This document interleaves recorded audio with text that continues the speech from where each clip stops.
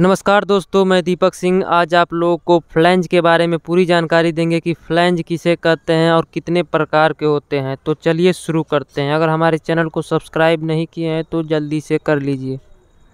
सबसे पहले हम बात करेंगे फ्लैंज किसे कहते हैं। दो पाइप को जोड़ने के लिए फ्लांज का प्रयोग किया जाता है। यह गोल आकार का मोटे प्लेट से बना होता है, जिसमें बोल्ट डालकर दो पाइप को आपस में जोड़ देते हैं।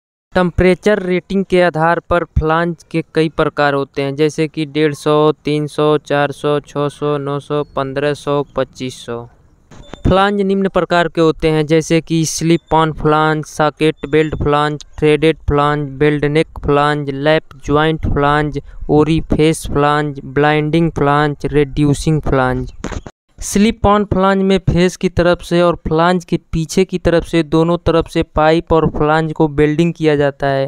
फेस की तरफ़ से 10 M M slip on flange छोड़कर पाइप और फ्लांज का बेल्डिंग किया जाता है। दूसरा है socket weld flange. Socket weld flange में सिर्फ़ एक तरफ़ से बेल्डिंग किया जाता है और फेस की पीछे की तरफ़ पाइप और फ्लांज का बेल्डिंग किया जाता है और बोर पाइप लाइन के लिए प्रयोग किया जाता है।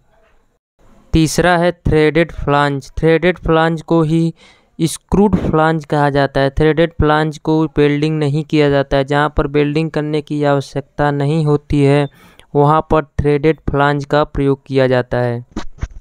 चौथा है welding neck flange weld neck flange में पाइप का फेस और फ्लांज का पीछे का फेस आपस में बट बेल्ट द्वारा जुड़ता है। बेल्ड नेक फ्लांज हमेशा क्रिटिकल सर्विस वाले लाइन में प्रयोग किया जाता है, जहाँ पर रेडियोग्राफी, एक्सरे, जाँच की आवश्यकता होती है। वहाँ पर बिल्ड नेक फ्लांज का प्रयोग किया जाता है। पांचवा है lap joint flange. Lap joint flange का प्रयोग कॉलर स्टब एंड के साथ में किया जाता है, तथा फ्लांज पाइप के साथ लूज रहता है। फ्लांज चारों तरफ़ घूमता रहता है। छठवां है orifice flange. Orifice flange welding neck flange की तरह होता है, लेकिन फ्लांज के थिकनेस वाले हिस्से में होल रहता है, जिससे निप्पल लगाकर टम्परेचर प्रेशर गेज लगाया जाता है। ओरी फेस फ्लांज के बीच में ओरी फेस फ्लेंज लगाया जाता है। सातवां है ब्लाइंडिंग फ्लांज। ब्लाइंडिंग फ्लांज का प्रयोग पाइपलाइन को बंद करने के लिए अंत में लगाया जाता है, जहाँ पाइपलाइन को भविष्य में खोलने की आवश्यकता होती है, वहाँ पर ब्लाइंडिंग फ्लांज का प्रयोग किया जाता है।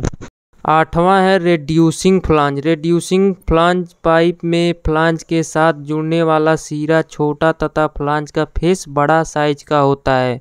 बिना रेड्यूसर का प्रयोग किए हुए छोटे बड़े साइज़ का फ्लांज के लिए रेड्यूसिंग फ्लांज का प्रयोग किया जाता है। यह रेड्यूसर की तरह काम करता है।